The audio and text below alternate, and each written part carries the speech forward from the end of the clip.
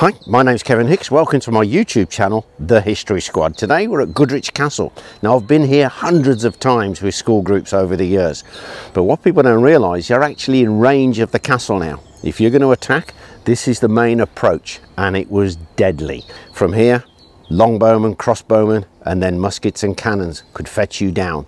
So let's have a, have a good look as we approach the castle and see how well situated Goodrich Castle was, right on the very borders of Herefordshire and then Gloucestershire. We're actually along a ridge. If you look down there, you'll see how sheer it is.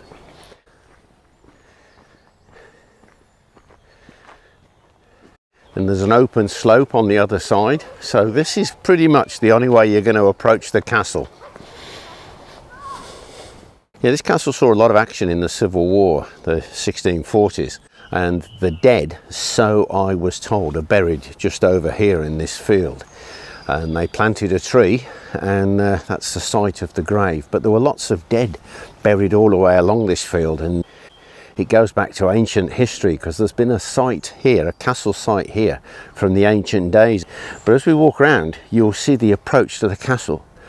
You're coming along this ridge, all of these towers are going to open shot and open fire on you and then you've got to go around the castle to actually attack the front barbican. What you have in the distance is the old priory and you can just about see a road bridge in the distance there going over the river and uh, this is the thing about the castle, it's surrounded on three sides by the River Wye. The situation of this castle high up on the hill is brilliant. And you look how deep the ditch is. You're going to attack it, you've got to waste lives just getting to it. And in the Civil War, even when they had cannons and mortars, they had a hard job taking this castle. It is quite incredible, but there are hidden bits to it. People miss some of the most interesting bits. So let's go and have a look. At the front of the castle here, there was a barbican, and the whole barbican is missing. It's just the foundations, but there was a neat little drawbridge just in front of it. Let's go and walk over what was the drawbridge.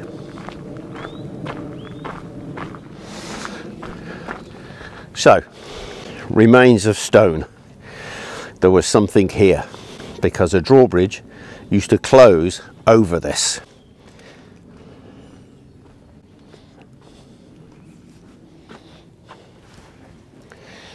This was in fact a gatehouse and you can still see where the counterweights for the drawbridge either side used to fold down. So you walk into the gatehouse of the Barbican that is.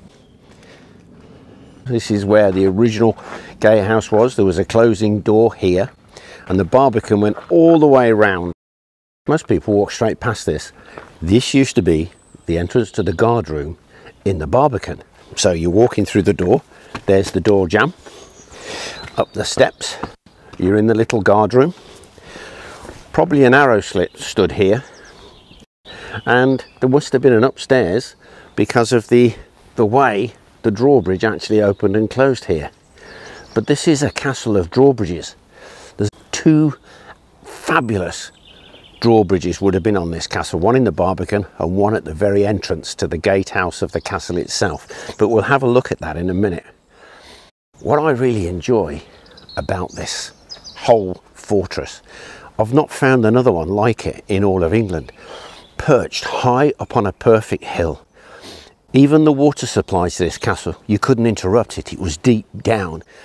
When they found this, Iron Age is the beginnings, then the Normans with their um, building here, they really knew what they were doing. As a bowman, right, look at that. Look at that arc of shot. You can fetch anybody down up here. And then later on with artillery and muskets, well, you want to take this castle? You're going to take it, but you're going to pay in blood. And in fact, that's what happened. But this is the amazing bit over here. So you come through the door, actually into the walls and you can have a poop here. Not now, but in those days you could. This was a garderobe. They did something very interesting. They had cisterns high up on the wall that collected rainwater. and a pipe there you unplug it and it flushes all the garderobe out if you come up here and then you can see how high up we are and you can see the river Wye how it snakes around the back of the castle what a great view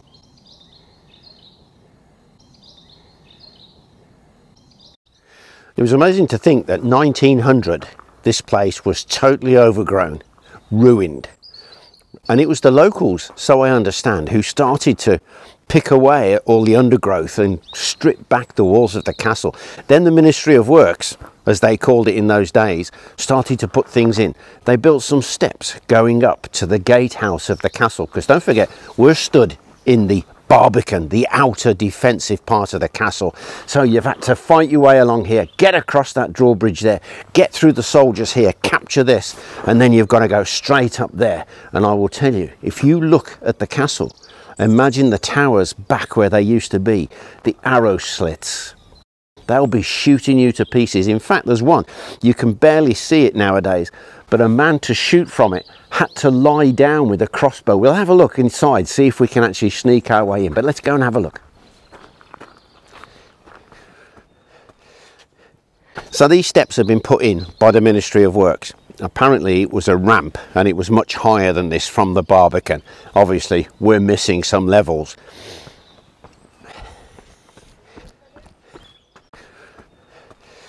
There was a waist high wall going all the way down. So if you're coming up, you're being shot at from all of these different towers.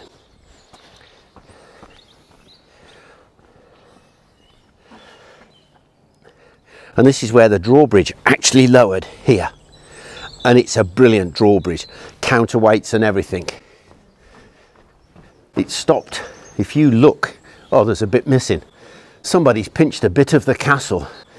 It actually stopped so you've got the drop going all the way down to the bottom. If you have a look over the edge, you'll see. That's the drop. You can still see here, you can actually see where the counterweights and the workings of the drawbridge actually came through.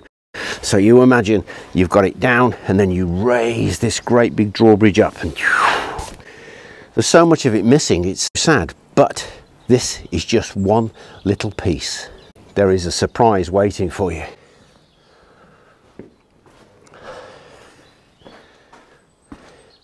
Put a castle door on here. You've got put lugs to lock it. The great big through lock beams. Why was the castle gates shod in iron? Any idea? If you've seen me Chepstow video, you'll understand why. And here you have your first portcullis. It's one of the few 13th century virtually preserved gatehouses. Right, come on in, this is so exciting. People miss this all of the time. Come closer, come closer. You've come through one portcullis. There's another portcullis here. Then there's the main doors, which have been fastened, great big oak doors.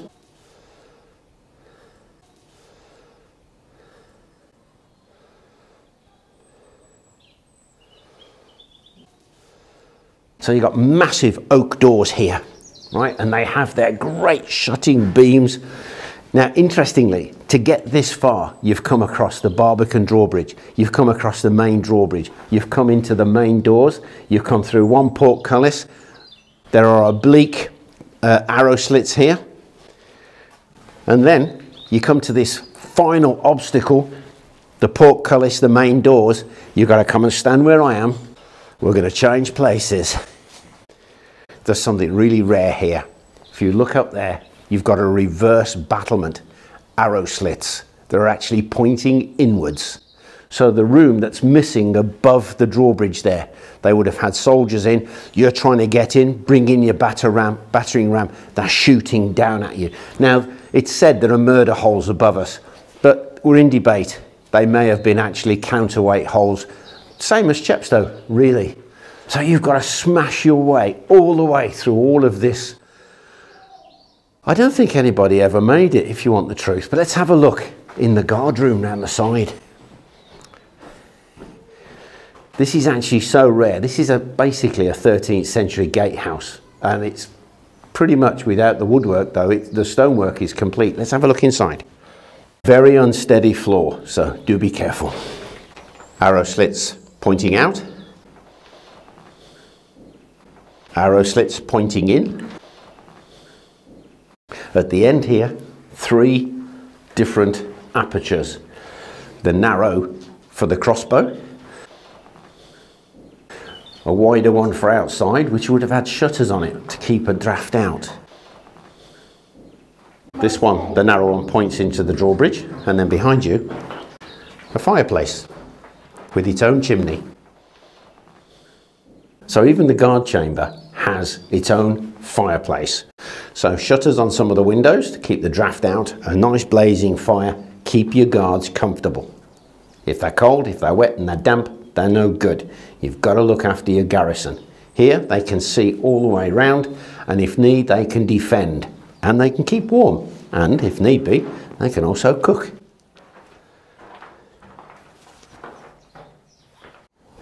So you've got over the drawbridge to the Barbican, the drawbridge to the gatehouse, the main door, the two portcullises, the other door. Come inside. Just here, you're actually inside a room. There was a wall there. There was an entranceway down, a wall across here, arrow slits. So as you're coming through, they'll be shooting at you. Then an archway across here, which may have had doors on it. So as you emerge out into the courtyard, you're going to be shot at from 360 degrees. So this was the well house and as you can see it goes down considerable distance. If I remember correctly I might be wrong I'm going back on memory. It's about 120 meters deep. It goes right the way down through the bedrock. But there is a tragedy. 1924 February a chap called Thomas Wheeler fell down here when he was working and uh, Thomas was trapped by a beam apparently and crushed but there were no phones and no emergency services in those days, and the poor chap died here. He left behind a widow and 12 children. And what's lovely about it is we have a little, it's a tiny little plaque, but what it says is, you know, his contribution to the preservation of this castle makes it what it is today. And it's true, because Thomas Wheeler had survived the First World War, only to be killed working as a mason here. This is a bit of the castle that I've never been in, so I'm going to explore. Let's see where it leads. Oh wow. I know where we are. We're on top of the gatehouse now.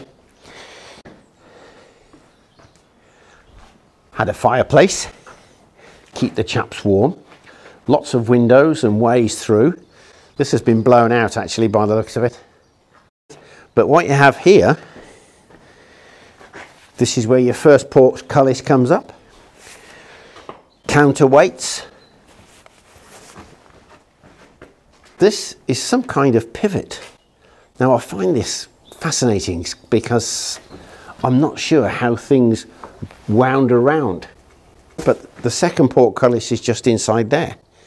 So we're missing so much timber. I'd love to see what was on that made this actually work. But unfortunately, it's long since gone.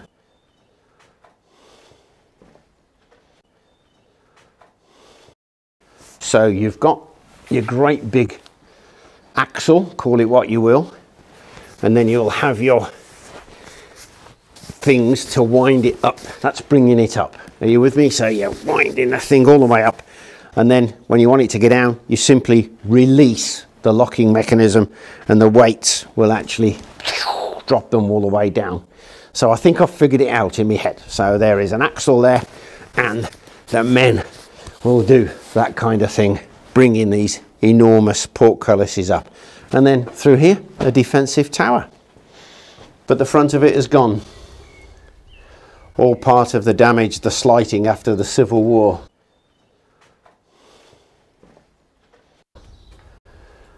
We're now going down, down into the deep, darkest depths of the castle.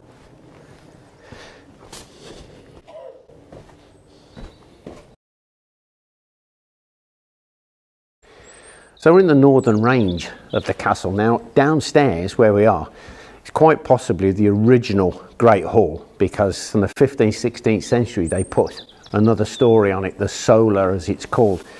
But what I love about this room is this. This basin has been here since the beginning. It's built in and it's a bit of a, an anomaly because there appears to be water that can come down and we don't know how it worked. Possibly fed from the well, so people bringing water up from the well, did they feed it into a cistern that then fed this water? There was also a drain hole. So this is actually a, a proper sink. You can have water and you can drain it. There's the remains of a bath down here. This room actually it tells us so much.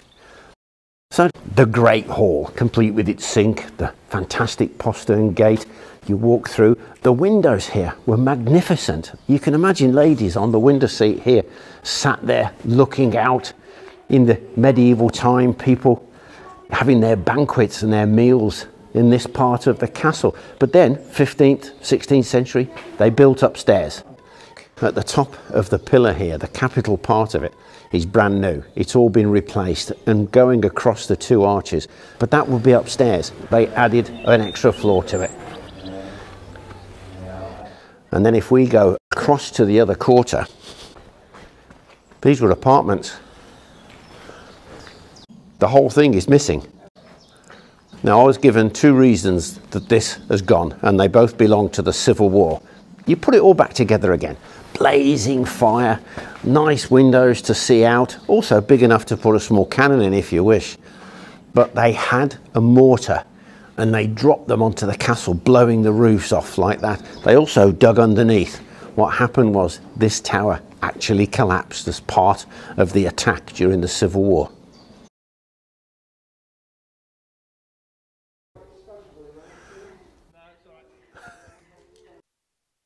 So here we are the Great Hall, or the second Great Hall. Stone seats, people to sit down, and an absolute enormous fireplace. This was the place to be. But you know, they got fed up of the servants sleeping in the Great Hall. So they eventually built extra rooms, the solar on top of the old Great Hall, more rooms up in this tower it became more of a home. So all these lovely windows they had in the Great Hall, we're not sure if they had glass in them, but what we do know is that the holes were actually for shutters. So these could be closed off nice and secure against the enemy, but also against the elements. And there are lots of windows in this Great Hall. It must have been quite a lovely place to be. So just above you actually have the stone corbels for supporting the roof. Underneath them you have uh, finials which would either been for torches or for some other decorative piece. But if you look up yonder, you can actually see the slope of the original roof.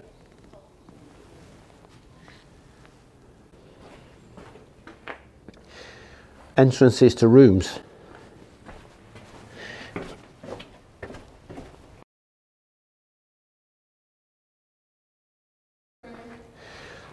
So we're downstairs in the cellar of this tower. If you look in the corner there, you can see where the stairs came up from the stables that I mentioned. And it's all been replaced and rebuilt. But we are in the cellars here. If you look above us, you can see all of the putlugs that used to divide the room so there'd be different floors and stories. These were chambers. A beautiful fireplace up there. That must have been a main chamber. This wasn't cold and drafty, these places were kept warm. It'd be wonderful to see it all put back together, but I don't think we ever will. But with your imagination, you can still see what it once looked like.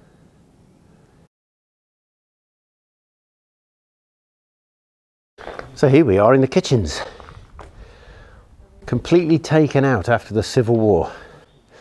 The big fire range here, all gone, but you can just see the remains of the bakery. These were the ovens. Two lots of ovens, one below, one on top. And this is where there'd have been a great big fireplace and chimney. This is where most of your cooking would have been done. So on either side of the fireplace, you have other ovens, either as warming ovens or bake your pies. This was quite something. There's a drain here so that lots of your washing and washing up would have been done. And a very rare piece, rare piece indeed. You're to have to focus on this. It's not much, but it's part of the original lead piping that was put in in the later history of the castle. Because amazingly, they had lead pipes it was in the Tudor times all the way across from the hills and it built up pressure and siphoned water up into a tank in the castle and you just pulled the plug out and water came down and you got running water in the Tudor times. Isn't that fantastic?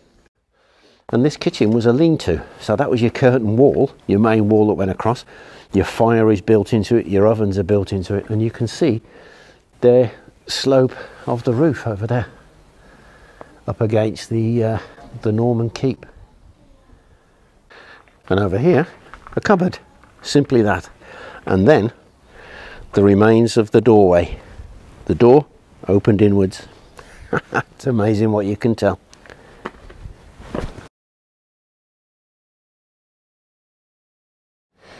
In my opinion, this is the best view of the Norman Keep. And some of the stonework is quite incredible. If you look at the top window, you've got this decorative dripstone just below the window. But if you look at that, that top round arched window, that is pure Norman. And then when you come down to the second window, that's been changed. And that's, it's either been changed or has it been added, you know, because that's Gothic in its design, so it's different. But what we're going to do, we're going to take a walk down there and then we're going to climb that tower and have a look from the very top of Goodrich Castle. There is the legend the right handed swordsman can fight better against the advancing right handed swordsman because his sword will get caught. Interesting. So, the keep, the oldest part of the castle.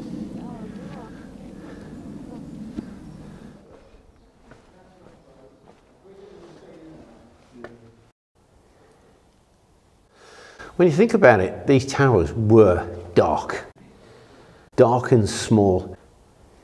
15 by 15 feet, we reckon this is on the inside. And I'm just going to go up one of the very narrow stairways to get to the top. Cramped, smelly, but at the end of the day, it's a defensive tower.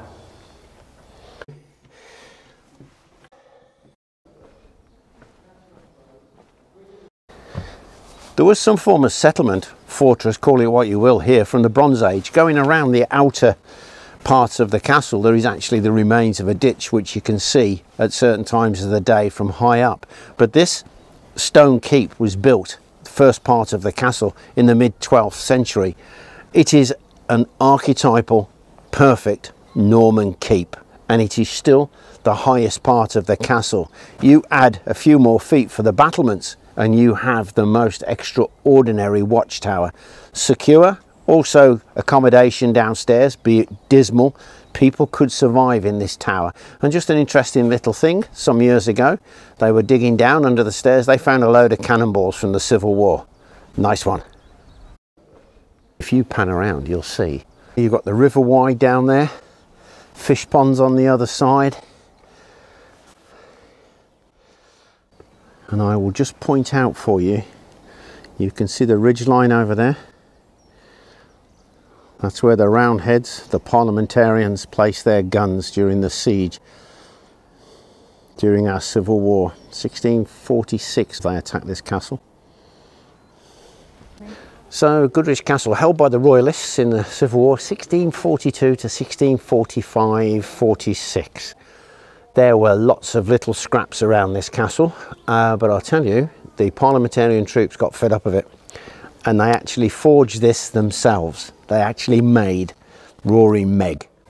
About a mile and a half down, then they brought it onto the hill opposite 200 pound shells and they fired, I believe, over 20 or thereabouts. And uh, their colonel himself firing, I think, 18 of the shells because he wanted to see what they could do. Or what they could do was this they could drop down through the roof and then blow everything out. That's why this bottom corner of the castle is basically missing. What a job.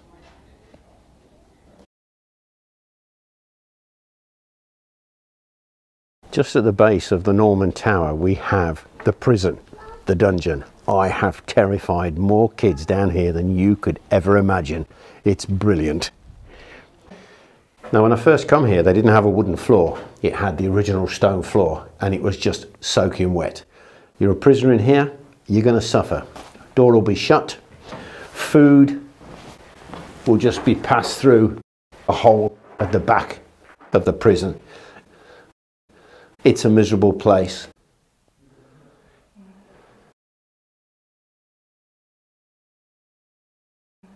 So here we are in the southeast tower in the basement or the cellar. You can see where all the holes uh, go for the joist, the put lugs as I call them.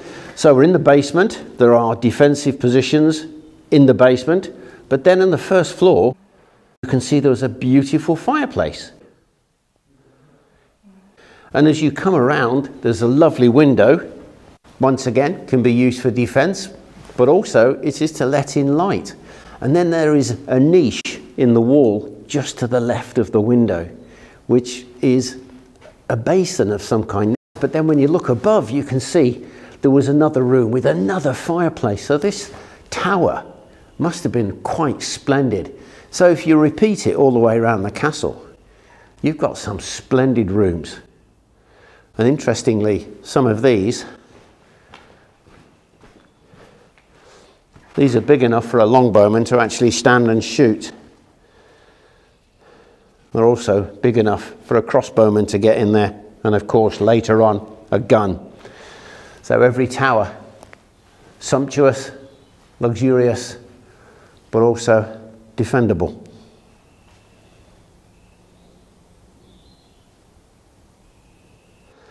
Now, fantastically, there is a walkway across the top of the southeast tower, which leads onto the battlement. So let's go and explore, and it'll give us a lovely view from upstairs, downstairs of that tower. So this is a fantastic view of the southeast tower. You can see the fireplaces, absolutely magnificent. But then the niche that I described from downstairs, if you look up above it, there's another one in the next floor. And there appears to be a drain hole in it. So there was some form of plumbing here. These rooms were absolutely luxurious, beautiful. I suppose in your mind you've got to put it all back together, haven't you?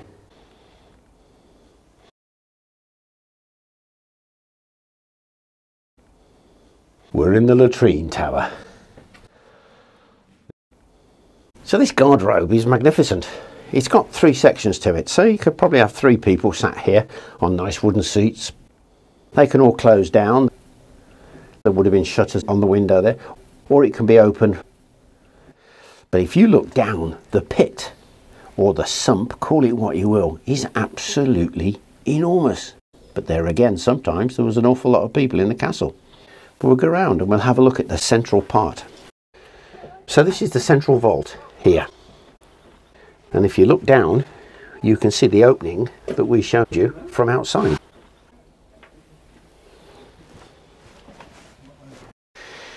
So this is the right hand chamber of the public latrines, if you like, of the castle. Anybody could use these. The lord and ladies, they of course had their own. Now once these were filled up, they had to be dug out. Now I've shown you from the outside that you could actually get a young person to get in there and dig it out they had to drain. They had to drain well so that the the poop could actually dry. Then it can be dug out properly because you couldn't lower people down into the morass could you? But these systems actually worked.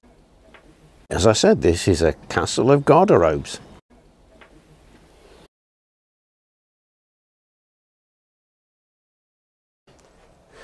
Now where we're going this is a range the east range and it changed once upon a time, from what I can tell, it used to be a stone building, but then that was demolished and it became a half timbered kind of affair. I'll try and explain as we, as we go along. So, there was a family here, the Talbot family. Famous name, especially the Wars of the Roses time, the Talbots. If you look, you can see a diagonal shape in the wall, and that corresponds on this side. That was the medieval roof line.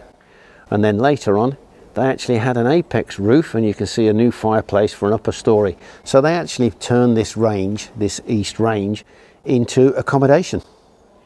So as you came in through the courtyard, you'd see all the stonework around, but when you look to your left, it would be like half timbered Tudor house kind of thing. Yeah.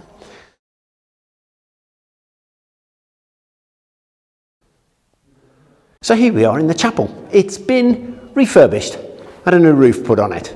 Yeah, and it still shows you everything that was here. Look at the actual design on this, the carving. Medieval man. Niches with the little drain in it. Plumbing in this castle was so important. And then you come across, although this is a niche for sitting in, it's also a defensive position. Crossbowmen could lie or kneel in there. The same here. And then you have where the high altar was, again, a modern window. The sacraments are kept in here. But of course, this being next to the gatehouse, important. A putlog, a great big long beam could be thrust through this, locking the front door. It's the locking bar. And here, an arrow slit. Interestingly, they're slightly offset, so you're not going to shoot straight through the one opposite. And the little piece people miss. Come and have a look up here. Just have a look. It's a stairway.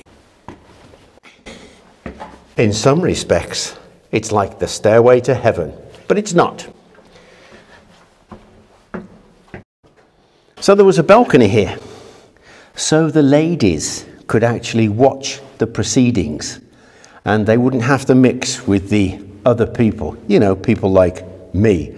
And when the service is over, they can simply filter out through the door back to their apartment to civilization.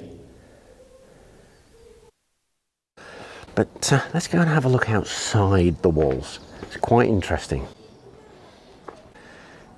Up until, I suppose, recent history, there used to be a wall across here. And when they were renovating and doing the stuff, it fell off.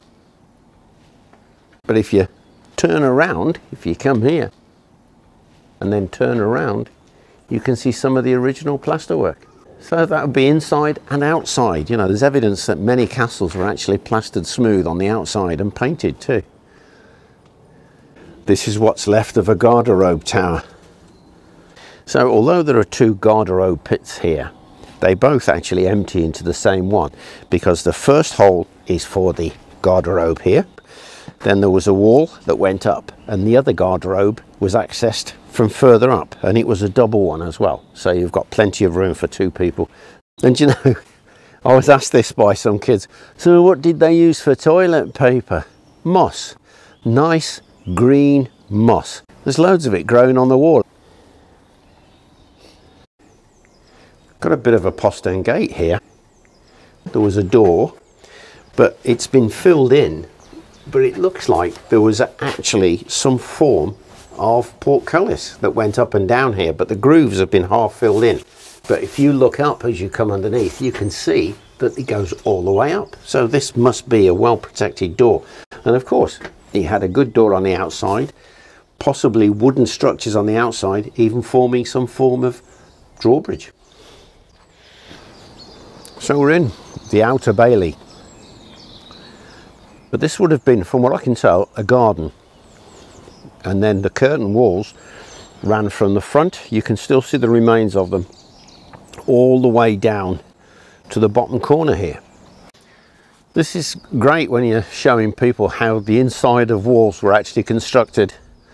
So you have all the rough stone inside. Somebody was saying to me they didn't have concrete. Oh this looks like concrete to me. Yeah heavy cement with all of the stones inside it you can actually see the thickness of the tower walls. And this is one of those you know, that I showed you earlier on from the inside. It was either blown out or it simply collapsed when they were digging underneath it. But over here, we have a tower. Oh, it's gone. We've still got the imprint of it.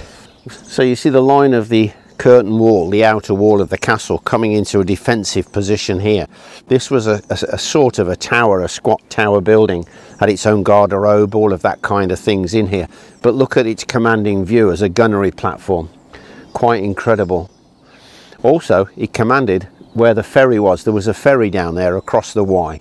So anybody trying to get across the Wye with the ferry, they could actually be shot from here. There's an interesting story about that ferry. It was Henry IV was here visiting and had heard through a messenger that his son, who will become Henry V, had been born at Monmouth Castle. And he was so excited he went down he got the ferry and the ferry took him all the way to Monmouth. He was so pleased he gave the ferryman the license for the ferry made him a rich man for life So you still have the curtain wall here going all the way down, but here was the stables. You imagine the hooves, clippity clop, as they came in and out of this doorway. You still have the remains of the stalls. This was destroyed in part of the attacks of the Civil War. They destroyed the stables first. There's something I like about this place is part of the original floor is here and you have the drain you know people as i say in, in some of my other comments you know people pass by stuff they don't see it because i suppose they're, they're not looking for it. And i've been here dozens and dozens and dozens of times and each time i find a new interesting little bit. It's like the fact that that wall used to be there but it fell off and it fell off in fairly modern times. And this is the outlet for the garderobe the ones that we were in further up. So there must have been some form of drain that went around here. And you've got other parts of buildings and a trough here. So was this a horse trough? Just left there, destroyed after the Civil War. So you imagine all the stalls for the horses. The tack room is further up. This is lovely.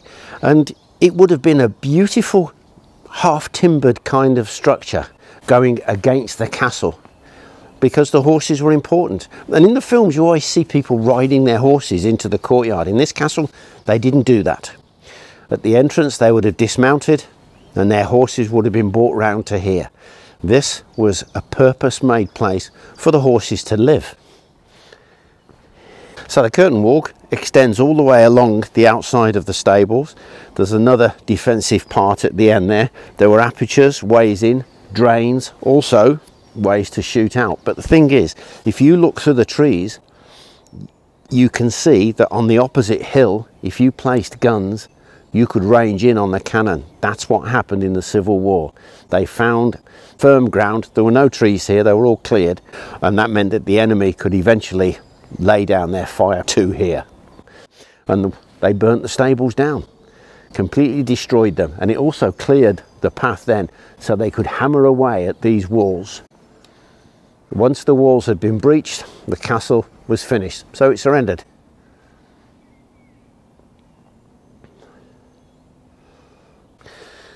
There were rooms up here. So, horses over there. There are rooms here. Was it for tack, for equipment, or was it for where the grooms actually slept? And there's a fascinating little bit over here. Post hole supporting the roof. There's still evidence. You can actually see the lay of the land. A tiny little room here. Or was it a fireplace? I don't think it was a garderobe. A set of steps actually cut into the side of the castle. You know, I used to bring the school groups through these stables and tell them the whole story, and they always focused on why are there steps going up there? And I actually made a mistake. I believed that these steps simply went to the hayloft, but in fact, they used to go in a spiral, which has all now disappeared, and come through the basement of the tower. So if you were inside the castle and you wanted to come to the stables, you didn't come all the way around, you simply entered through here. And that makes perfect sense. It's quite interesting being down here in the ditch because if you look up at the Norman Keep and then look at this corner tower here, they're different stone. What we do know is this ditch was dug out and made deeper as they quarried the stone for the extensions. So if you put the Norman Keep as part of the original stone building, must have been surface stone or they brought the stone in. The rest of it has literally been quarried out of the ditch, making it deeper and wider. This whole side of the castle was slighted after the Civil War. It was all pulled down. So the castle could never be used as a fortress again. The main garderobe tower. And this is the outlet. It had several compartments upstairs.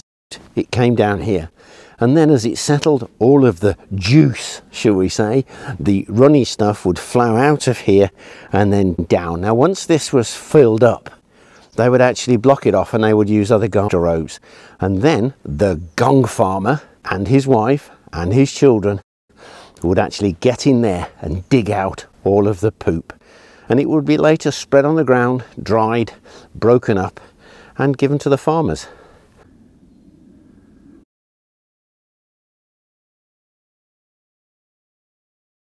Well, I hope you enjoyed our tour around Goodrich Castle, a favourite place of mine.